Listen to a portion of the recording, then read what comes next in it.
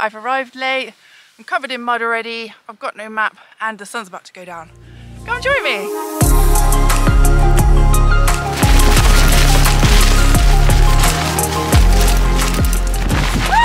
Don't like that. Jesus. I'm here at Cnicht. I've had a bit of a mess today. It all went a bit wrong earlier. I'll tell you about it when we're pitched up. So I've rocked up really late, but it's such a beautiful day, gorgeous weather, and it's so lovely and quiet here. So I've made my way across some pretty ankle breaking ground to get away from the paths, and I'm gonna find somewhere to pitch my tent with gorgeous views of the mountain, and we're gonna have a go at that bad boy tomorrow. Right, let's find somewhere to pitch.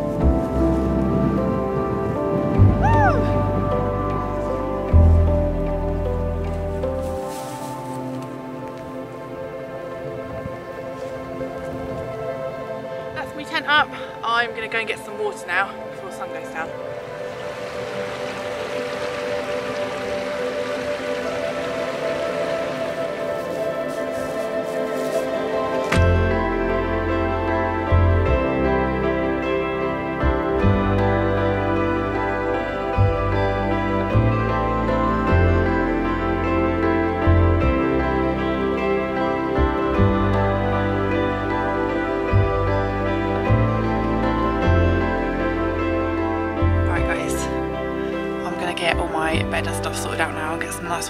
On.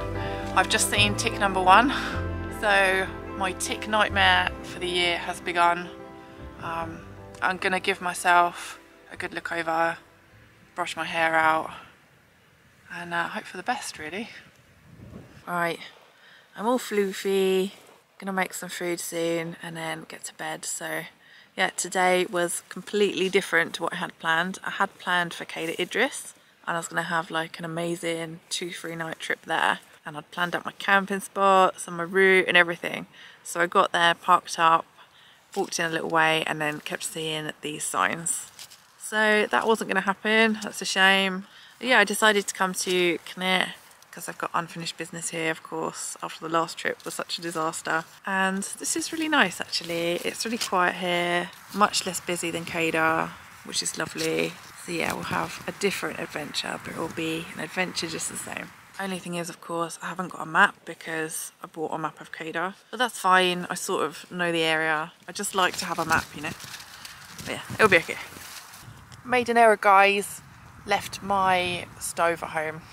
So I bought the canister and my cook set and everything, but the actual little stove, left it at home. So no hot meal, no hot drink, no porridge or coffee in the morning. But it's okay because I have got another one in the car for my car camping. So I'm just gonna have to walk back to the car in the morning and then come back to go up Cnicht again, but that's all right. What's an extra few miles? Jerky for tea today. It is windier than I thought it was gonna be tonight.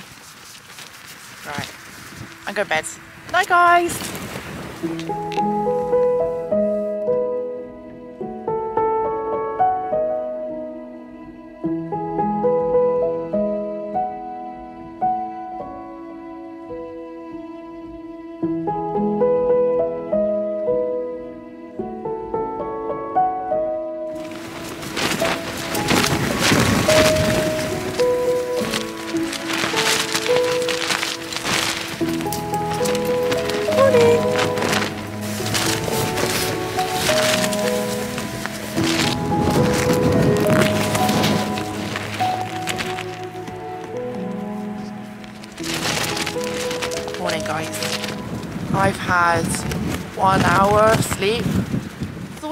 Crazy.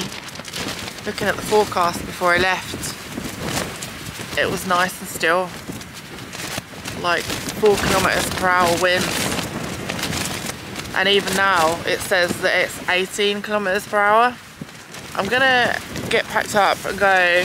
I've got to go back to the car to get my stove. I don't want to go home, but I can't pitch up again unless I can find somewhere more out the winds. I mean, if I knew I was going to have these winds, I wouldn't have pitched here because I'm really exposed. I would have gone behind this rocky ledge and it probably would have been alright down there.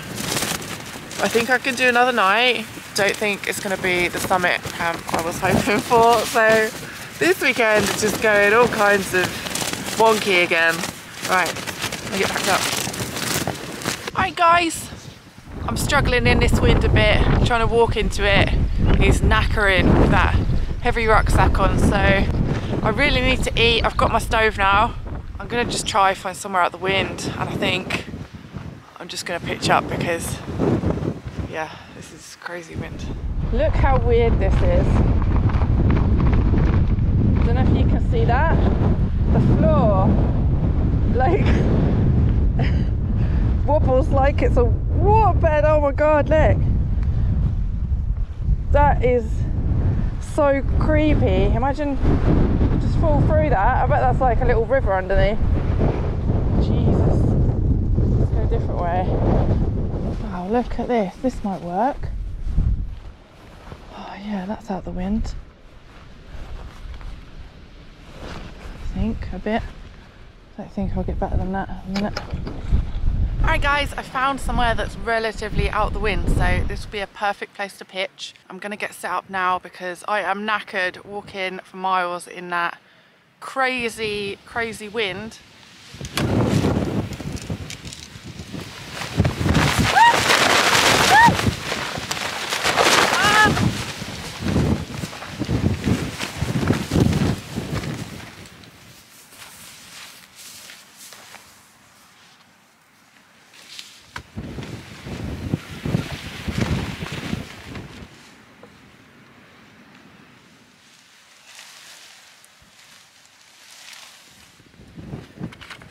Okay, I've made myself a little windbreak with this rock here. So this will either work or it will fall over and smash all my stuff. Look at that. I can feel my happy levels increasing. Amazing. I can't lift this,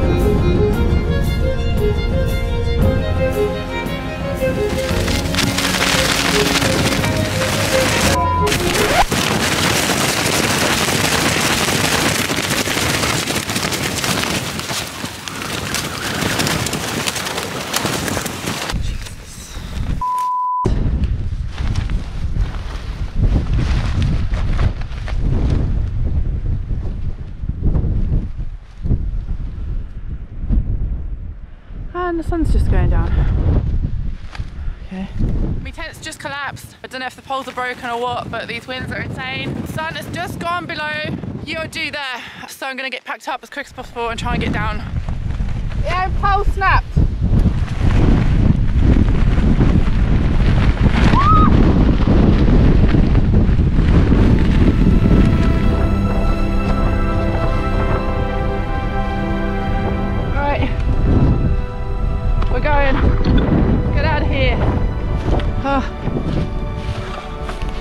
Find the path.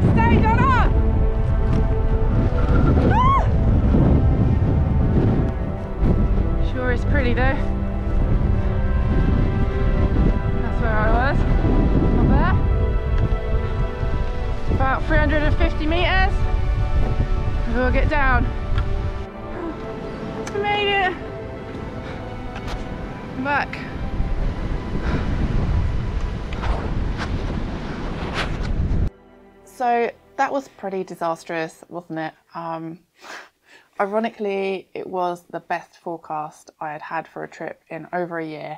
And when I saw it, I could not believe my luck. And that's how it went down. So just goes to show you never know. So on this trip, I was doing what I always do and using the local weather forecast for the area that I was heading to. Um, this was a mistake. The forecast said before I left it was going to be like four kilometre per hour winds. Then on the first night it changed to 18, and the night that my tent was wrecked it changed to 21, which is ridiculous. It was nothing like that whatsoever. It was crazy winds. So out of curiosity, a few hours after the tent wrecking event, I was wondering if there was a way that I could find the Snowdon Summit forecast. And I was having a search on the interwebs and I found that you can, in fact, find the Snowdon Summit forecast. And that was saying gusts of up to 95 kilometres per hour, which is insane and not something you want to be camping in. Now, I, of course, wasn't on Snowdon Summit. I was, I think, about 15 kilometres from Snowdon and of course I was much lower down. But it just goes to show the difference in the general area forecast and what's actually happening higher up in the mountains. As a side note, Ash from Ash Outdoors UK was also camping this same night and he was on Moel Siabod, which is about 20 kilometres, I think, from Snowdon and 20 kilometres from where I was as well. And he had no issues at all. He had an absolutely gorgeous night. Check that video out, by the way, stick it up here. So you can see how different a camp we had on the same night in the same area. And it's just crazy. You just never know what's going to happen. So back to where I should have been looking for a mountain weather forecast. It's been brought to my attention by the lovely folk that follow my Insta page that there is something called the Mountain Weather Information Service, MWIS, which you can go online and you can search by areas. There's like Snowdonia, Scotland, lakes, and it will tell you what's happening at the summits, how that'll feel for you, you know, what the visibility is like, everything you could want to know. And that's where I should have been looking for this trip.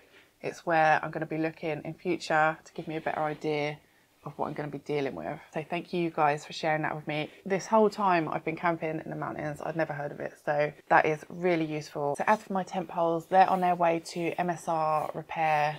I believe MSR tent poles have a lifetime guarantee. So MSR did offer to replace the snapped pole, but there's another bit at the other side that's sort of come out and the string inside where the pole snapped is nearly cut through as well from the sharp metal rubbing on it. So they've suggested I send it for repair instead. So I'm going to be without my tent for a few weeks. That's fine. I just feel really grateful that the incident happened at sunset rather than when it was completely dark. I wouldn't fancy making that trip in the dark because there's some pretty dodgy terrain up there. I mean, once you come off the paths, it's all, you know, crazy, and there's a funny ground with water underneath it and all sorts of crazy stuff. In that situation, the safest thing to do would probably have been to stay in my tent until morning. I would have had to take the poles out because that broken pole was so sharp that if I'd left it in, it would have ripped through the tent it potentially could have punctured my sleeping mat. It would have injured me. So they would have had to come out and I'd have to use the tent as like a bivy bag. So it wouldn't be the best night. So I'm not going to say that I'm never going to camp in strong winds again. I am because that's part of mountain camping. It's something you have to be prepared for and ready for.